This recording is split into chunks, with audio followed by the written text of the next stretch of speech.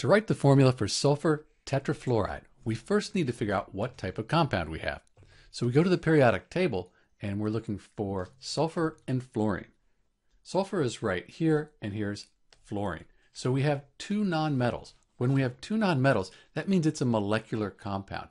For molecular compounds, we don't need to worry about ionic charge. We do, however, have to think about these prefixes here. So we have sulfur all by itself, we'll write S and then we have fluorine. And this tetra right here, tetra means four. So we have four fluorine atoms. So the formula for sulfur tetrafluoride, that's SF4.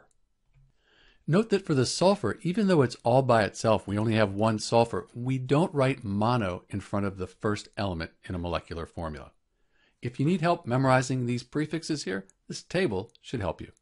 This is Dr. B with the formula for sulfur tetrafluoride, SF4. Thanks for watching.